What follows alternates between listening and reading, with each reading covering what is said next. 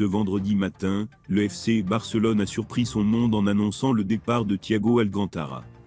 Le milieu espagnol, tout juste à la retraite, a débarqué il y a quelques semaines à peine, en tant qu'adjoint flic pour l'équipe A, et l'ancien de Liverpool n'a pas fait long feu, puisqu'il vient d'être remplacé par Arnaud Blanco. C'était visiblement prévu le temps de la pré-saison. Et en conférence de presse ce vendredi, Flick a tenu à démentir les rumeurs d'un conflit. Nous entretenons d'excellentes relations depuis qu'il a joué à Munich. Nous nous sommes appelés lorsqu'il a terminé sa carrière et je lui ai dit qu'il serait un excellent entraîneur. Il a aidé l'équipe et c'est une personne formidable. Maintenant, il paraît nous avons Arnaud, de la Masia, qui nous apporte également beaucoup de soutien, je ne sais pas s'il reviendra ou non, a-t-il confié. La presse espagnole s'enflamme pour le nouveau trio magique du Real Madrid, à savoir Jude Bellingham, Kylian Mbappé et Vinicius Junior. Rodrigo, lui, est laissé de côté. Le Brésilien peut néanmoins compter sur le soutien de son club. Mercredi soir, le Real Madrid a fait sa première sortie officielle de la saison face à l'Atalanta Bergame en Supercoupe d'Europe victoire 2 buts à 0.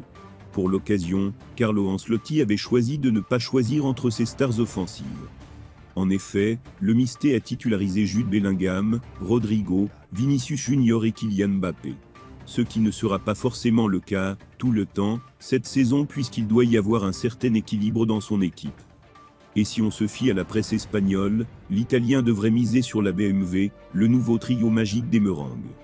Rodrigo, lui, ferait les frais de cette nouvelle organisation.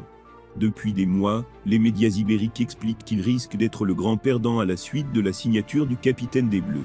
Certains ont même évoqué un possible départ. Récemment, son nom a d'ailleurs été cité du côté de Manchester City, afin de compenser le départ de Julian Alvarez à l'Atlético de Madrid.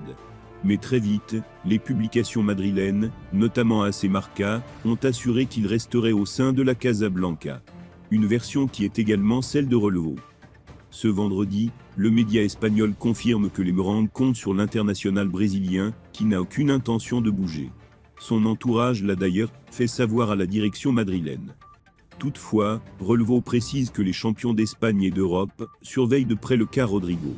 Alors que la presse enflamme pour la BMW, le club de Florentino Pérez ne veut pas qu'il se sente laissé de côté ou qu'il soit dans l'ombre de ses partenaires. Tout est donc fait afin qu'il se sente bien à Madrid moins en vue que ses partenaires mercredi soir, l'attaquant Oriverde, qui a été utilisé sur le flanc droit, a été remplacé à la 76e minute par Luka Modric. C'était d'ailleurs le premier changement effectué par Ancelotti. Relevo indique que le joueur, chaleureusement applaudi par les supporters, a été félicité par tout le staff. Ancelotti et ses équipes se sont précipités vers lui pour l'encourager. Relevo explique que le Real Madrid veut le chouchouter cette saison après l'arrivée de Mbappé, et avec la concurrence qui va augmenter. Les Merengues veulent qu'il tire les coups de pied arrêtés? Ils ont totalement confiance en lui, même s'ils sont aussi conscients que sa position va évoluer. Il n'est pas intouchable, tout le contraire de Mbappé, Bellingham et Vinicius Junior. Raison pour laquelle ils ne veulent pas le vexer, lui qui est l'un des favoris de Florentino Pérez et de Carlo Ancelotti.